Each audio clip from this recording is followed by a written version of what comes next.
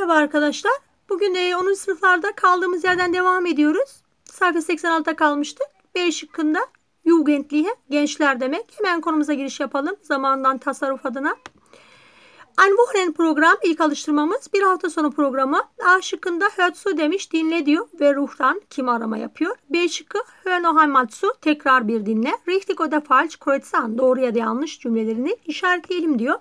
Bunu yapabilmek için hemen dinlemeye başlayalım çocuklar. Ben okuyorum siz dinlemiş oluyorsunuz.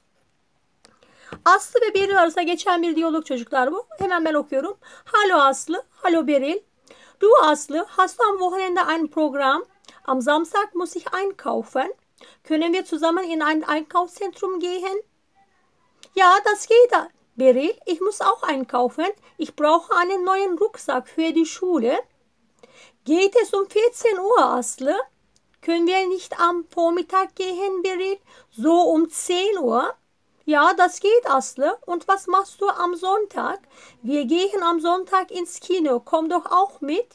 Leider, Beril, darf ich nicht am Sonntag ausgehen. Ich muss Hausaufgaben machen. Ach du arme Aslı. Na dann sehen wir uns am Samstag um 10 Uhr. Bis dann. Tschüss Aslı. Tschüss Beril. Evet Aslı ve Beril arasında geçen bir konuşmaydı, bir diyalogtu çocuklar bu. Evet hemen A şıkkındaki yanıtlayalım soruyu. Ve ruft Beril ruft an. B şıkkında ise doğru yanlış cümleleri var. Doğru yanlış cümlelerine hep beraber bakalım. Aslı und Beril gehen am Samstag einkaufen. İlk alıştırmamız. Richtig. İkinci alıştırma. Beril braucht einen Rucksack. Falsch. Üçüncü alıştırma. Sie treffen sich am Samstag um 14 Uhr. Falsch. 4. Aslı darf am Sonntag ins Kino gehen. Falsch. Aslı muss Hausaufgaben machen. Richtig. Evet.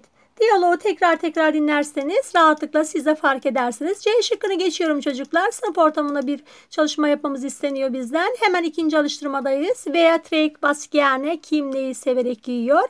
A şıkkına bakalım. Hört zu dinle diyor. Trägt was gerne und nicht gerne?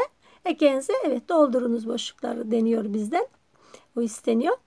Kim neyi severek giyiyor, kim neyi sevmeyerek giyiyor ya da ne giymeyi sevmiyor. Kişi ne giymeyi seviyor, kişi ne giymeyi sevmiyor. Buna bakacağız. Kişilerimiz Aslı ve Beril her ikisi de kendileri hakkında bize bilgi veriyorlar. Biz bu bilgiler doğrultusunda sevdikleri ve sevmedikleri kıyafetleri fark edeceğiz. Hemen ben okuyorum arkadaşlar. Aslı kendini bir tanıtsın bize. Ich heiße Aslı und ich bin sehr sportlich. Ich trage Hosen und T-Shirts gerne. Kleider und Röcke trage ich nicht gerne. Evet önce bir Aslı kısmını bitirelim. Aslı ne giymeyi seviyormuş? Sportif olduğundan bahsediyor. Ich trage Hosen und T-Shirts gerne diyor. Hosen und T-Shirts. Olumlu olanlar. Olumsuz olanlar neymiş çocuklar? Ich trage Kleider und Röcke nicht gerne diyor elbise ve etek giymeyi sevmiyormuş. Nihkâne kısmına Klayda und Röke yazabiliriz. Beril'e bakalım çocuklar. Beril kendisi hakkında anlattığını bir dinlemiş olalım. Mein Name ist Beril. Ich mag klassische Sachen. Ich trage Kleider und Röcke gerne. Hosen und Sportschuhe trage ich nicht gerne. Evet klasik kıyafetlerden hoşlanıyormuş. Ne demişti? Kleider und Röcke trage ich gerne diyor. Kleider und Röcke gerne kısmına yazılacak. Hosen und Sportschuhe. Hosen und Sportschuhe trage ich nicht gerne diyor. Evet siz boşlukları doldurabilirsiniz. B şıkkında bizden isteniyor aynı şey çocuklar.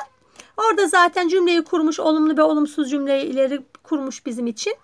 E, e, kılık kıyafetiyle ilgili e, kelimeler de vermiş bize. Ben hemen bir olumlu bir olumsuz cümle kuruyorum. Siz de buna benzer cümleler kurabilirsiniz.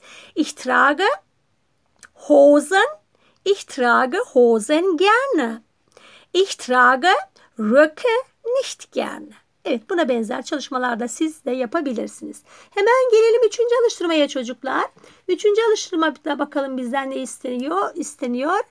Ee, üçüncü alıştırmada konu başlığı neymiş? In, Im Einkaufszentrum. Alışveriş merkezinde. Im Einkaufszentrum. Hemen aşkına bakalım. Schau dir das Foto an. Fotoğrafa bir bak. Was kauft Beril? Bir bakalım. Beril ne satın alıyor? Beril bir gömlek hatta mavi bir gömlek satın alıyor. Beril kauft eine Bluse. O da Beril kauft eine blaue Bluse diyebiliriz. Biz renkleri tanıyoruz çünkü. B şıkkında ne demiş? Hör zu und ergänze das Gespräch. Dinle ve boşlukları doldurmamız isteniyor bizden. Evet hemen dinleyelim ve boşlukları dolduralım. B şıkkında isteneni hemen yapalım. Vaktinde. Schau mal Beryl, wie findest du die Bluse? Die Bluse finde ich schick, aber ich brauche noch einen Rock. Hier sind Röcke, schau mal denn hier. Aber die Größe ist 38. Hier ist die Größe 36. Ach ja, der ist ganz gut. Entschuldigung, was kostet der Rock? Der Rock kostet 25 Euro 90 Cent. Und die Bluse? Die Bluse ist jetzt im Angebot. Nur 15 Euro 90 Cent. Okay, ich nehme die Bluse und den Rock. Evet çocuklar, boşluklarda para birimleri eksikti. Onları biz e, duymuş olduk. İlk boşluğumuz 25 euro 90 cent, 25 euro 90 kuruş. İkinci boşluğumuz 15 euro 90 cent, 15 euro 90 kuruş. İkinci boşlukta Angebot kelimesi indirim demektir gençler bu arada. Hemen C şıkkına gelelim. Birinci soruda bizden istenen, B şıkkında bizden isteneni yaptık. C şıkkında ne istiyorlar bizden? Lies das. Biz okuduk tabii ki. Was kauft Beril noch diyor. Evet Beril daha başka ne satın alıyor? Daha başka ne satın alıyor arkadaşlar bu diyalogda? Bir etek satın alıyor. 36 beden bir etek satın alıyor. Ne diyeceğiz? Beril kauft noch einen Rock. Beril kauft noch einen Rock. Evet çocuklar. E, bugünlük bu kadar. E, dinlediğiniz için çok teşekkür ediyorum. E, bu sayfa ile ilgili alıştırma kitabınızdaki alıştırmalara muhakkak bakmanızı tavsiye ediyorum. E, konuyu anladığınız takdirde alıştırmalarda hiçbir sorun yaşayacağınızı e, düşünmüyorum. Evde kalın diyorum. Hoşça kalın diyorum. Kendinize çok iyi bakınız. Görüşmek üzere.